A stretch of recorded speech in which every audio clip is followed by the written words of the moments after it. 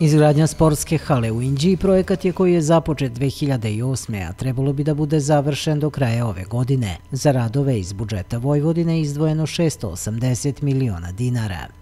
Ovo je veoma složen objekat koji se ne nalazi na baš povoljnom mestu kada je reč o e, podzemnim vodama i kada je reč o mikrolokaciji, ali uz znanje izvođača, uz tehnologiju ćemo uspeti da ga završimo i verujem da ćemo ga do nove godine staviti u funkciju. Izgradnjom ove sportske hale biće, kako je rečeno, obezbeđeni svi neophodni uslovi za rekreativno kao i profesionalno bavljanje sportom, s obzirom da je ženski rukometni klub Železničar aktuelni šampion Srbije.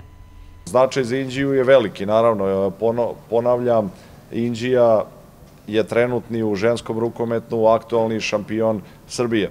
Dakle, igrali smo pripremnu utakmicu, kvalifikacionu, pričamo o dvoranskim sportovima, e, koja je e, igrana u staroj hali u Inđiji, ali da smo prošli sledeće kolo Dortmund, mi ne možemo da igramo nigde ako nemamo ovakav objekat. Evo, malo pre smo govorili, e, čak ni Spence ne ispunjava takav objek, takve uslove, isključivo Slana Bara je mogla da bude alternativa, Predsednik pokrajinske vlade najavio je izgradnju novih sportskih objekata širom Vojvodine, među kojima i sportske sale u dvorištu gimnazije Laza Kostić u Novom Sadu. Sa gradskom upravom grada Novog Sada planiramo da u prvoj polovini ove godine počnemo radove na izgradnji sportske sale u dvorištu gimnazije Laza Kostić na, na Telepu u Novom Sadu. Biće to zapravo više sportska hala nego školska sportska sala, jer smo projektom predvideli jedan izuzetan objekat.